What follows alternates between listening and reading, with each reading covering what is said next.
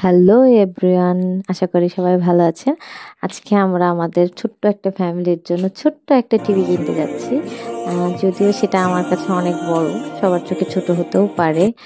আমরা রাজশাহী জিরো পয়েন্টের LG showroom যেটা ছিল, সেটাতে চলে গেছি। আমার হাজব্যান্ড আমি, আমার মেয়ে, আমার ছেলে।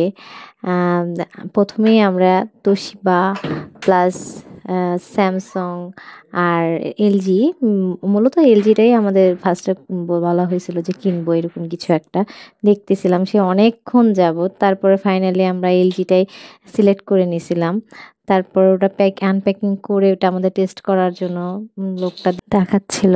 তারপর এখানে কাউন্টারে চলে আসলাম। কাউন্টারে এখানে ফর্ম ফিল আপ করতেছিল। এমন টাইমে আমার একটা বিষয়ে আপনার ভাইয়ের সাথে অনেক রাগ হয়ে গেছিল। তখন আপনার ভাই আবার আমাকে ভিডিও করে আমাকে দেখাচ্ছিল যে হ্যাঁ আসো, তোমার এই মুখটাকে ক্যাপচার করে রাখি। ফাইনালি আমাদের প্যাকেট করা শেষ হয়ে গেছে। তার মধ্যে আমার ছেলে মেয়ে দুজন বলতেছে যে, আমি আমি দেখ নিব। ও বলতেছে, না, আমি নিব। দুজনের মধ্যে কারাকারি চলে গেছে।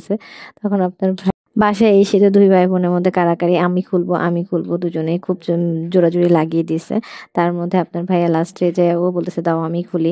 খোলার পর ওরা তো দুইজন উত্তেজিত হয়ে গেছে যে হ্যাঁ এটা তাড়াতাড়ি বের করো, আমরা টিভি দেখব। এমন কিছু আর কি। আমি হাতে ওই রিমোটটা আপনার ভাইয়া বলতেছে, দেখো দেখো, এটা হলো আট হাজার টাকা দামের রিমোট এটা কিন্তু সাবধান। আমি বললাম যে ভাই রে ভাই সব কিছু শেষ হয়ে যাক বাট রিমোট যাতে শেষ না হয়। দুই ভাই বোনই টিভিটাকে সুন্দর মতো করে তুলে ফেলল।